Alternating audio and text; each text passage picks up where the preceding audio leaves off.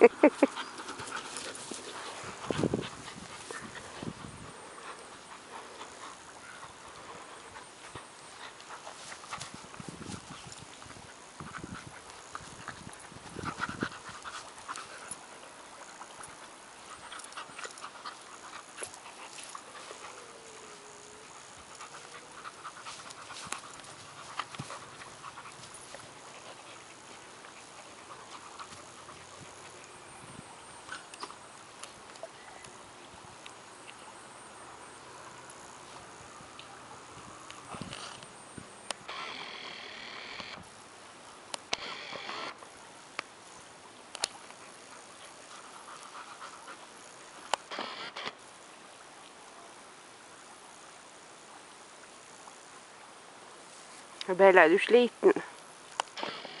Mm.